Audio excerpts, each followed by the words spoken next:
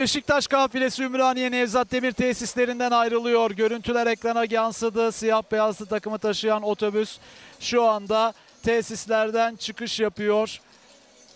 Klasik Beşiktaş simsiyah otobüsüyle birlikte tabii hazırlanmış otobüste derbiye gıcır gıcır bir Evet. şekilde çıkışını yaptı.